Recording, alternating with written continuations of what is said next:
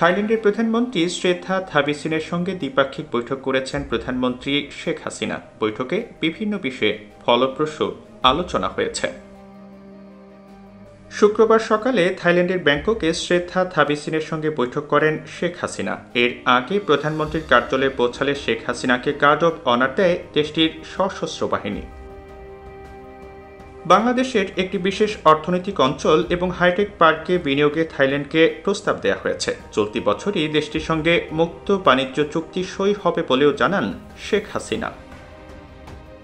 প্রধানমন্ত্রী বলেন, বাংলাদেশের কাছে থাইল্যান্ড একটি সম্ভাবনাময় অংশীদার। দেশটির সঙ্গে বাংলাদেশের সরাসরি সমুদ্র বন্দরকেন্দ্রিক যোগাযোগের চেষ্টা করা হচ্ছে।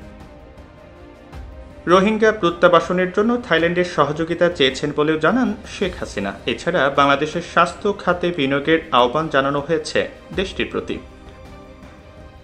থাইল্যান্ডের প্রধানমন্ত্রী শ্রেদ্ধা থাবিসিনের আমন্ত্রণে ছয় দিনের সরকারি সফরে গত চব্বিশ এপ্রিল থাইল্যান্ডে পৌঁছান প্রধানমন্ত্রী শেখ হাসিনা।